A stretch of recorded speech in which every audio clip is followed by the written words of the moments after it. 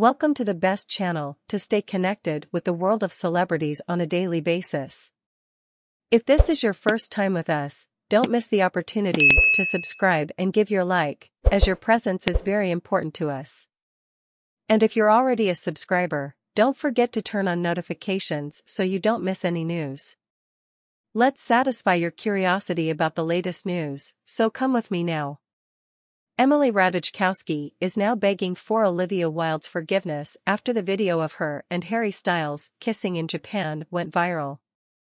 It seems that Emily Ratajkowski and Olivia Wilde have been friends for some time and were even photographed together at the Vanity Fair Oscar party. Furthermore, in June, Emrata and Olivia Wilde sat together in the VIP section of Harry Styles' show in Paris, and they were seen having a great time together. Please leave your like on this video, it's very important for you to stay informed about the news we post daily around here.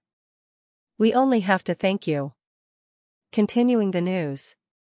Emrata stated that she was protecting Olivia Wilde when she was receiving negative reaction for the drama Don't Worry Darling and reported on the love triangle between Florence Pugh, Harry Styles, and Wilde.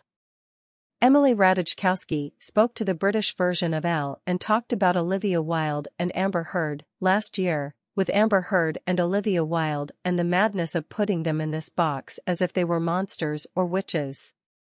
There are nuances to it, but when you see the way the whole world reacts to women, it's really hard not to want to go to an extreme side of that, she added. I feel very protective. Wow, what a news! What do you think?